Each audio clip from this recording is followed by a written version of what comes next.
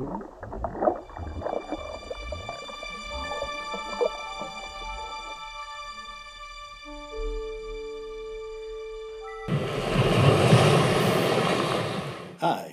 this is Bill with Scuba Views, and I just received this in the mail a few days ago.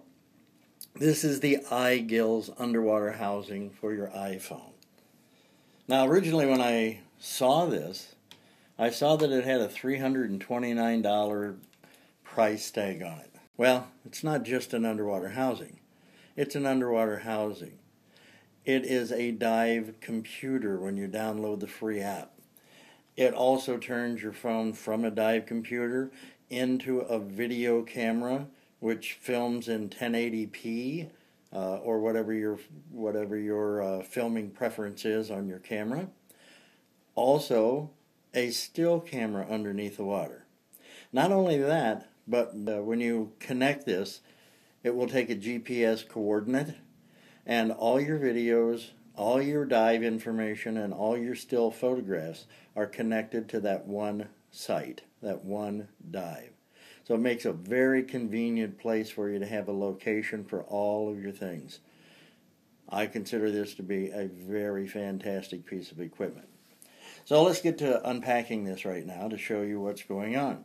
First of all, it comes in this nice little box.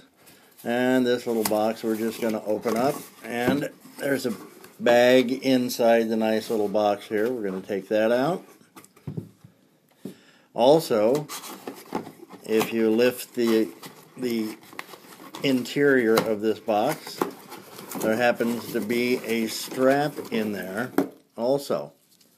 And that strap is a lanyard so that you can hang this on you so you don't have to worry about losing this whole thing. Okay, so we're going to set the lanyard uh, apart to the side for just a moment. Next thing we're going to do is we're going to take a look at this bag. And this bag is a nice little gray bag, and it says iGills on it. It's a great thing to to uh, keep that clean and dust off of it and everything else. And as you pull these things out, you'll see that number one, we have our iGills underwater housing right here. It's the SA 35, and it's rated to 130 feet. On this side, you have access once your phone is inside there.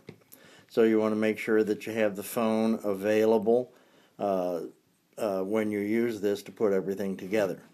It also comes with a manual.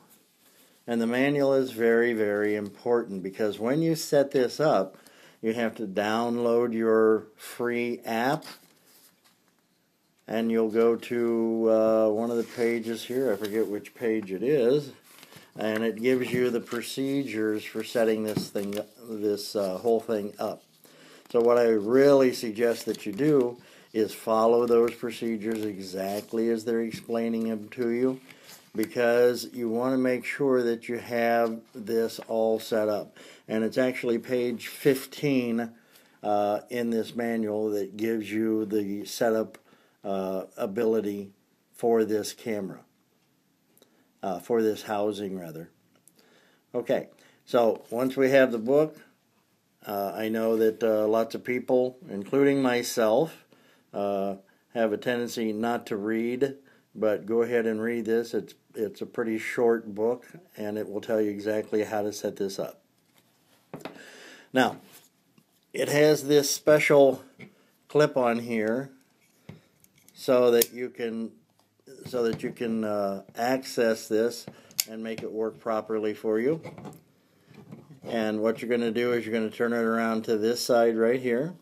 You're going to put your thumb here, push up, and pull that to the side, and the whole thing will open up. Just like that. Okay? And if you look down at this point down here, you'll see this is where your iPhone connects right here the iPhone will, will be this way so that you can view your screen right through here. Once you close the door, the camera port will be right where this is so that you can take pictures or you can do video, one or the other. Again, this is a very, very good thing. I've already done a video on iGills uh, about iGills on YouTube. It's actually titled iGills on Scuba Views at Lake Mead. So I hope you enjoy using this. It's a wonderful, wonderful product. I have used it and it worked flawlessly for me. So until next time, this is Bill DeCrow saying, check out the iGills. It's worth your time. Thank you.